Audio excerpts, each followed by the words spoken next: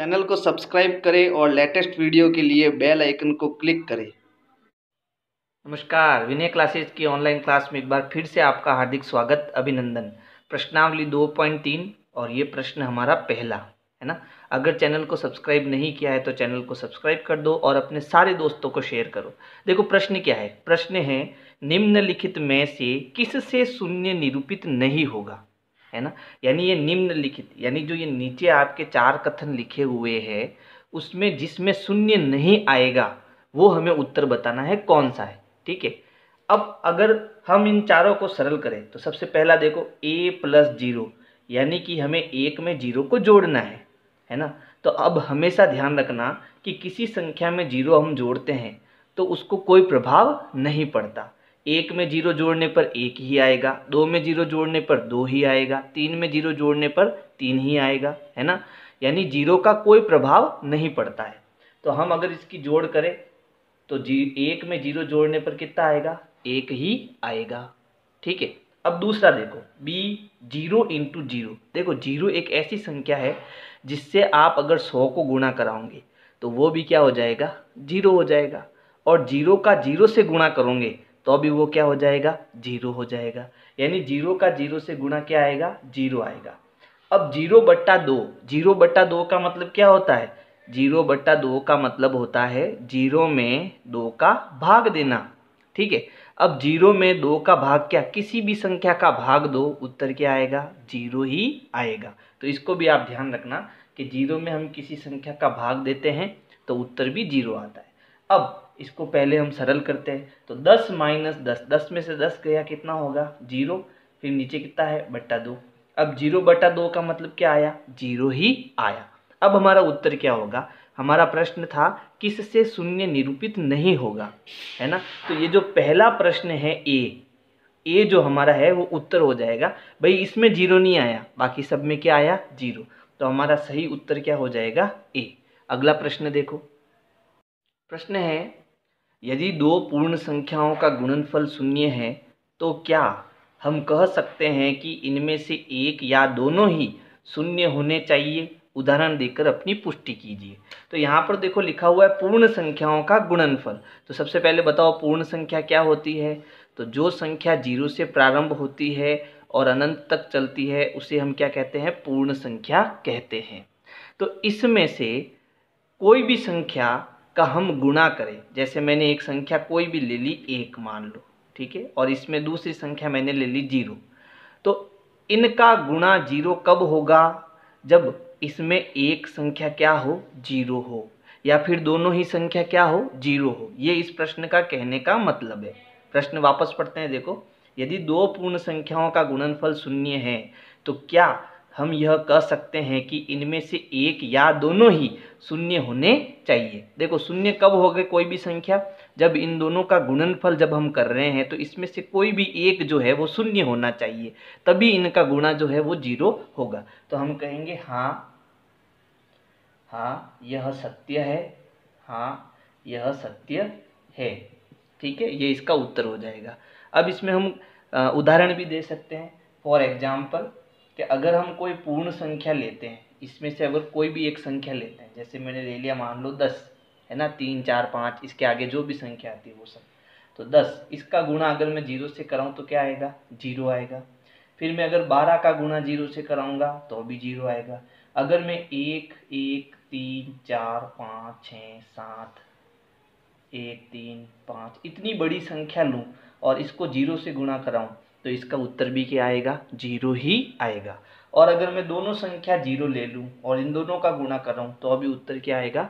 Zero ही आएगा। तो किसी भी पूर्ण संख्या का अगर हम गुणनफल करते हैं, है ना तो उनका गुणनफल शून्य कब होगा? उनका गुणनफल शून्य तभी होगा जब इन दोनों में से कोई एक संख्या क्या हो? ज़ीरो हो। तभी इनका गुणा क्या होगा? ज़ीरो होगा। या फिर दोनों ही क्या हो? ज़ीरो हो।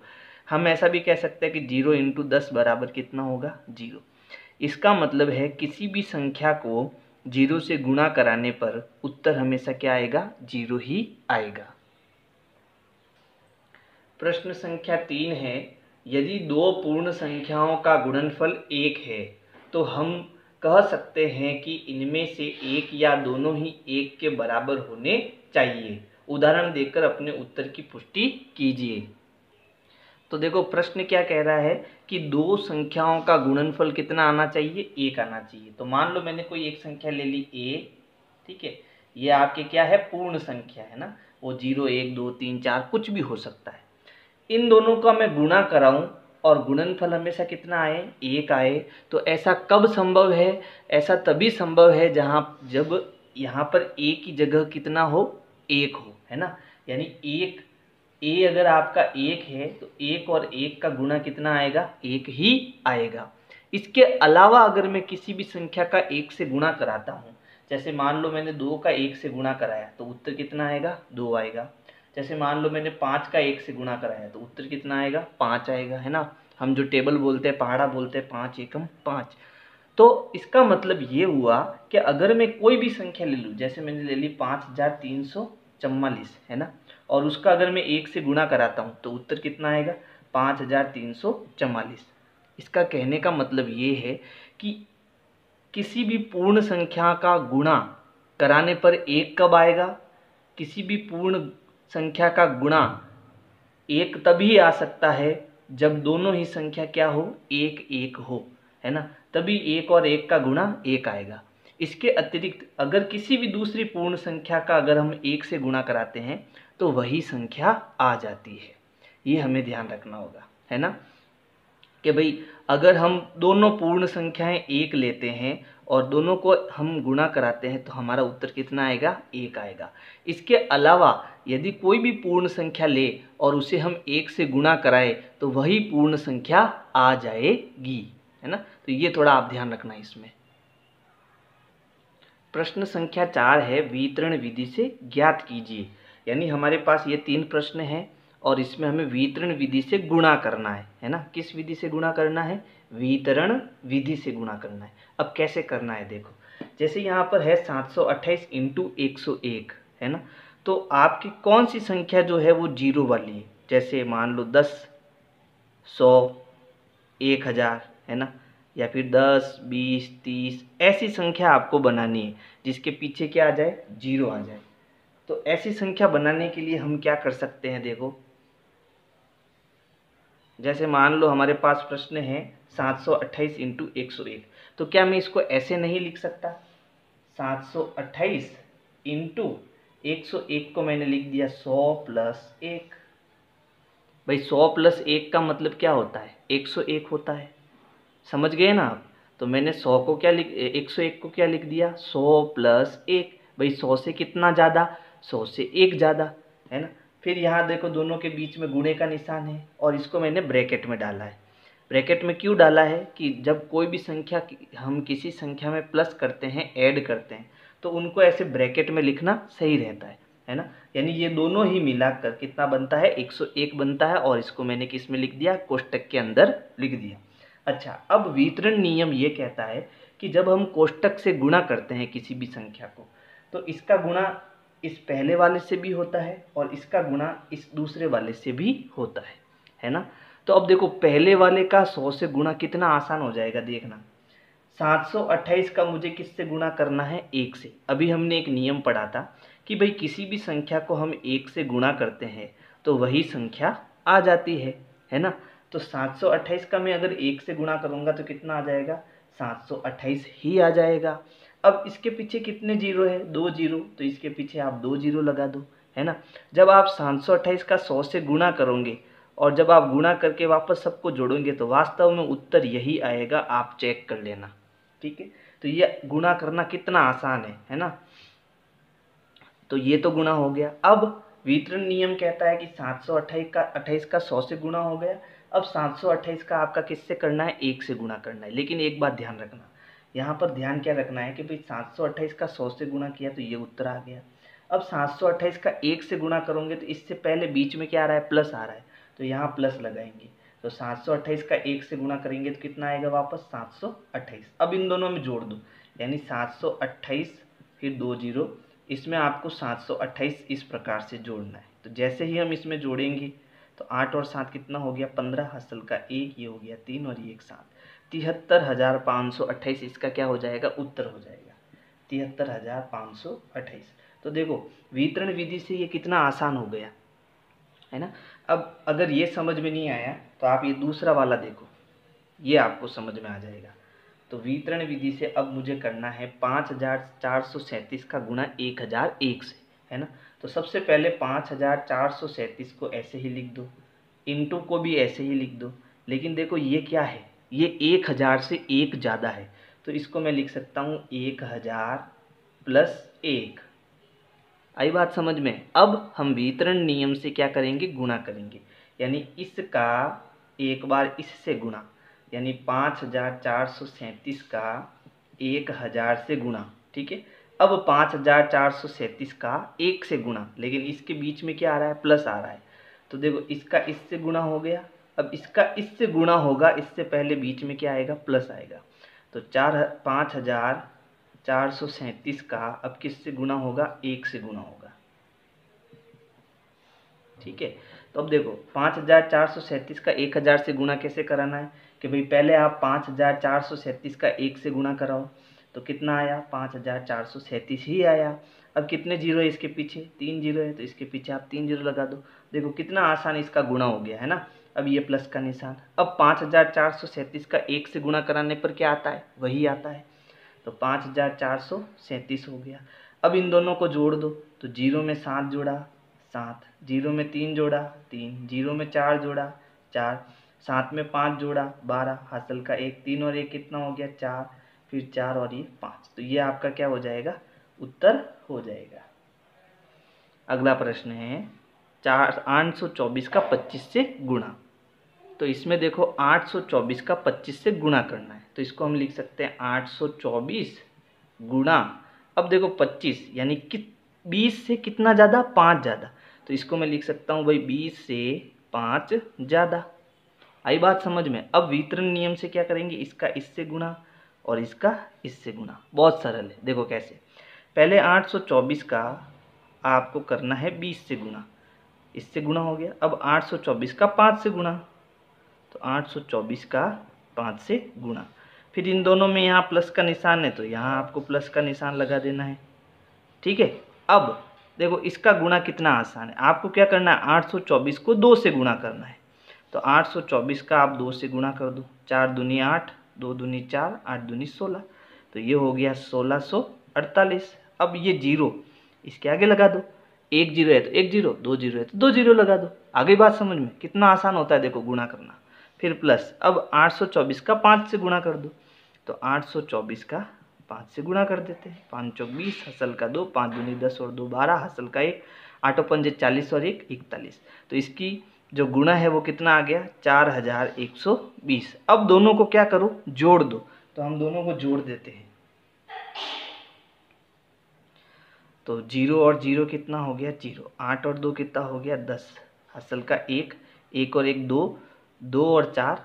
छः हो गया। फिर चार और छः कितना हो गया? दस हो गया। हासिल का एक। एक और एक कितना हो गया? दो। आप आराम से जोड़ना। मैंने सीधा जोड़ दिया तो इसका उत्तर कितना आ गया? बीस हज़ार छः सौ।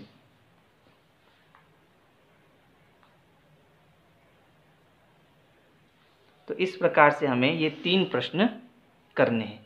अगले तीन प्रश्न देखते हैं क्या है।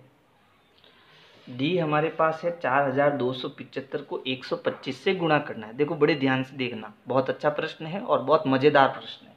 सबसे पहले हम क्या करेंगे भाई, चार हज़ार दो सौ पिचहत्तर को हम ऐसे ही लिख देते हैं, ठीक? फिर गुणा 125 का मतलब क्या हुआ? 125 का मतलब हुआ भाई 100 से 25 ज़्यादा, है ना? 100 से 25 ज़्यादा। अब क्या हम इसको भी ज़ीरो में बदल सकते हैं क्या? बिल्कुल बदल सकते हैं। भाई, ये तो सौ हो गया। फिर ये पच्चीस का मतलब क्या है कि भाई, बीस से पाँच ज़्यादा, बीस से पाँच ज़्यादा। अब सौ, बीस और पाँच सबको जोड़ेंगे तो वापस कितना आया? एक सौ पच्चीस। यानी एक सौ पच्चीस को हम ऐसे लिख सकते हैं, है ना? तो सबसे पहले एक, फिर इसके बाद में दो ज़ीरो, फिर प्लस दो दो के आगे एक ज़ीरो, फिर प्लस पाँच तो इन सबको जोड़ने पर वापस कितना होगा? 125 होगा, है ना? तो इस प्रकार से हम इसको लिख सकते हैं। अब क्या करना है? अब देखो, इस चार हज़ार दो सौ पिचहत्तर का एक बार इससे गुणा होगा, फिर एक बार इसके आगे वाले से गुणा होगा, फिर एक बार इसका इस तीसरे वाले से गुणा होगा, तीनों से गुणा होगा, है ना? तो ये मैं चिन्ह हटा देता हूँ, आप इसको समझ लेना। तो सबसे पहले चार हज़ार दो सौ पिचहत्तर का किससे गुणा होगा? सौ से गुणा होगा। फिर ये प्लस का निशान आ रहा है तो यहाँ प्लस का निशान लगाना है। अब चार हज़ार दो सौ पिचहत्तर का किससे गुणा होगा? बीस से गुणा होगा, है ना? एक बार इससे, एक बार इससे और लास्ट में इससे। तो प्लस का निशान, चार हज़ार दो सौ पिचहत्तर का आप किससे गुणा होगा? पाँच से गुणा होगा। अब गुणा कितना आसान है देखना। चार हज़ार दो सौ पिचहत्तर का किससे गुणा करा दो? एक से गुणा करा दो। तो एक का गुणा कराएँगे तो कितना आएगा? चार हज़ार दो सौ पिचहत्तर ही आएगा। अब ये दो ज़ीरो है तो यहाँ दो ज़ीरो लगा दो। देखो, इसका गुणा हो गया। कितना आया? बयालीस हज़ार, चार लाख सत्ताईस हज़ार पाँच सौ। और ये प्लस का निशान, ठीक है? अब इसका गुणा इससे कराना है तो क्या करो? चार हज़ार दो सौ पिचहत्तर का दो से गुणा करा दो। तो कराते देखो, पाँच एकम पाँच पाँच दूनी दस, हासिल का एक, सात दूनी चौदह और एक पंद्रह। हासिल का एक, दो दूनी चार और एक, पाँच, चार दूनी आठ। फिर देखो ये एक ज़ीरो बच गया तो ये एक ज़ीरो इसके पीछे लगा दो, है ना? मैंने गुणा सीधा किया है, आप आराम से रफ कॉपी में गुणा करा के फिर यहाँ लिख देना। अब इसका गुणा कराते हैं तो पचाऊ पच्चीस, हासिल के दो, सातों पंज पैंतीस और दो सैंतीस, हासिल का तीन पादुनी दस और तीन, तेरह, हासिल का एक, पाँच चौक बीस और एक, इक्कीस। तो इसका जो गुणा है, वो हो जाएगा इक्कीस हज़ार तीन सौ पिचहत्तर।